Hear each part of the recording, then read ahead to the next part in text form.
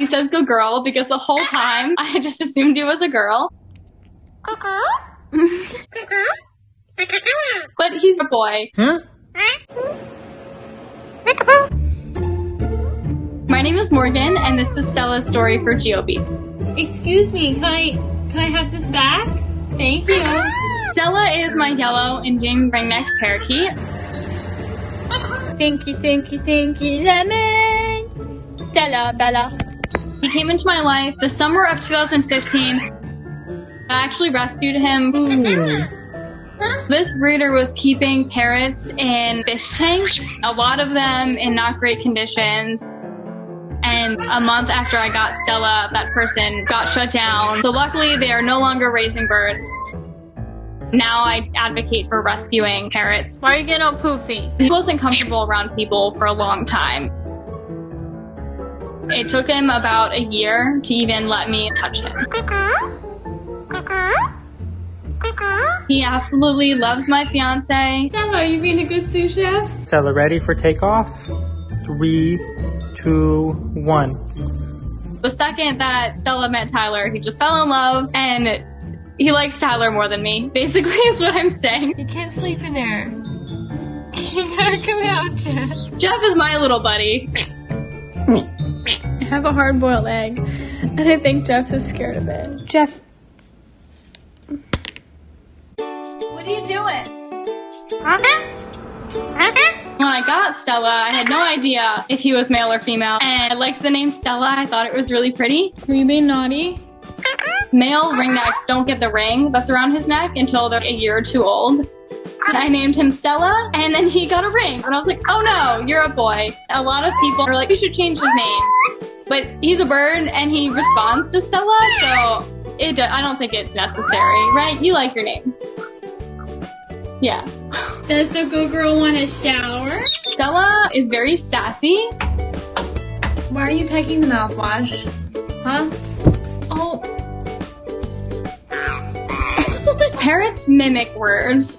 Uh-huh. His current word list is Morgan, good girl, pickle, peekaboo, what you doing, huh?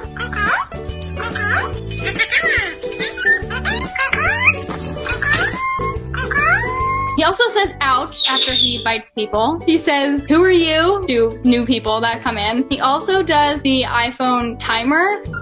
He's just so good at mimicking it that I think it's my phone. Were you just eating Jeff's food? That's not yours. It's all over your beak. Do you have anything to say for yourself? Huh? You want to say sorry to your brother? No. It's pancake day. They're so intelligent. Jeff will literally go up to my thumb and just put his face against it a couple times to tell me that he wants to cuddle. He's the calm and collected one. Jeff figured out that if he taps the center of my headphones, it pauses the music.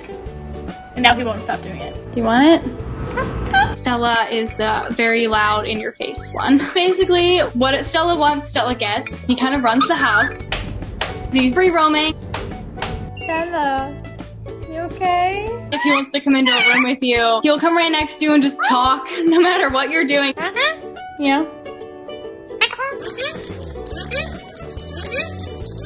I work from home most days, and all of my coworkers know who Stella is because he's constantly talking during our meetings. After years of training him, he loves people. He loves when my friends come over. He'll crawl on their heads and want scratches. Sometimes he gets really quiet, and then I know he's up to no good. Excuse you.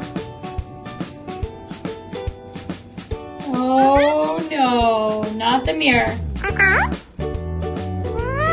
Stella, that's my water. Stella destroyed them. We've bird-proofed this place. You're so strong. We used to keep our pots and pans out, and then the birds would try and play with them and throw them on the ground, which then makes me afraid that they would get hurt. Stella, you don't even fit. Your tail's too big. All of our food has to be away because Stella will find it and he will eat it. Did you find the popcorn? You can't have that. Are you trying to get the cookies? I told you to not eat the dirt.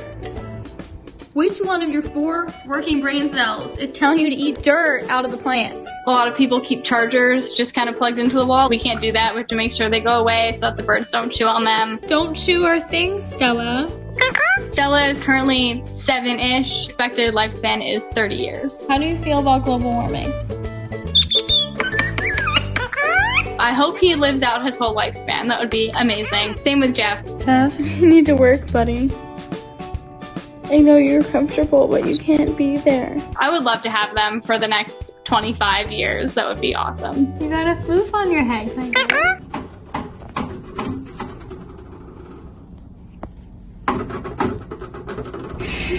He stopped immediately. Uh-huh.